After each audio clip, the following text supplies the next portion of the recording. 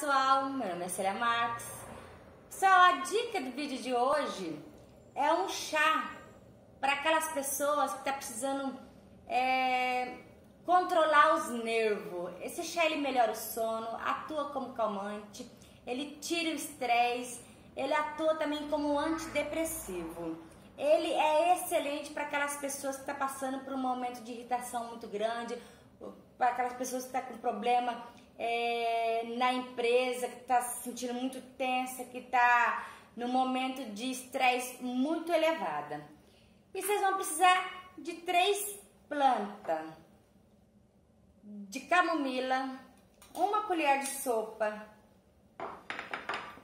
de camomila, uma colher de sopa de erva cidreira, uma colher de sopa de folha de maracujá.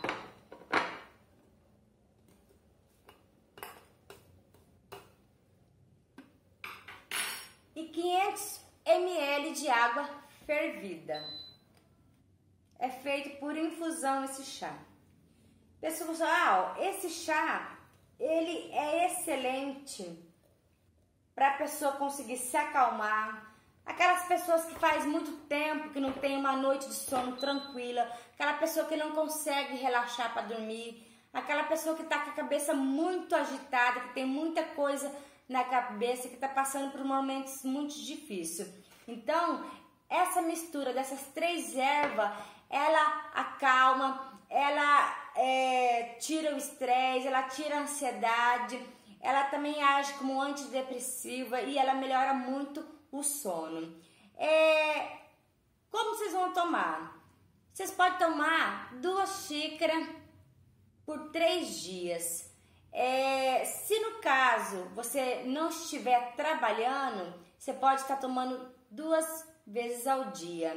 Se no caso você está trabalhando, só quando você chegar em casa vocês tomam uma xícara, porque como eu disse, esse chá, ele, ele é um ansiolítico, ele vai é, induzir ao sono, então não é interessante você tomar esse chá para ir trabalhar, porque você pode sentir sono, ficar sonolento, e se você trabalha com máquinas é, ou dirigindo, não deve tomar esse chá para ir trabalhar. Mas se você quer tomar o chá tá no, passando por aqueles momentos terríveis na empresa, de pressão, é, você chega em casa, toma seu banho, depois da janta você toma uma xícara de chá para ir descansar. Você vai ter uma noite mais tranquila, você vai conseguir é, relaxar, você vai conseguir é, controlar a ansiedade.